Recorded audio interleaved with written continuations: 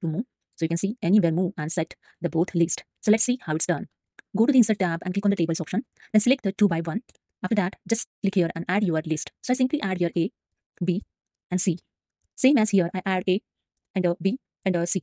Okay. Then I click on this box and select the both list. And here I just click on it and increase the font size. Increase the font size. See the changes over here. Okay. Then I select the first list. Go to the home tab. In paragraphs group, have a bullets option. Just click on the bullets and you can see the bullets is added. Same for the second list. Select the list, go to the home tab and click on the bullet. You can see the second list bullets also added. Now I just decrease the size of this table. Set the size in list. Okay. So I here set. Now I want to remove this border of table. So just click on this box, right click of the mouse, click on the table properties, click on the borders and shadings, and in borders tab, click on the none. Here you can see the preview, the border is showing. When you click on the none option, the border will remove. I just click on here none and you can see now in preview the border is not showing. Then click on OK, click on OK and that's it. Here you can see the border is not showing.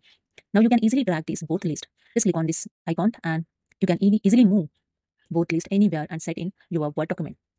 So hope you understand. If you like this video, please subscribe. Thank you so much.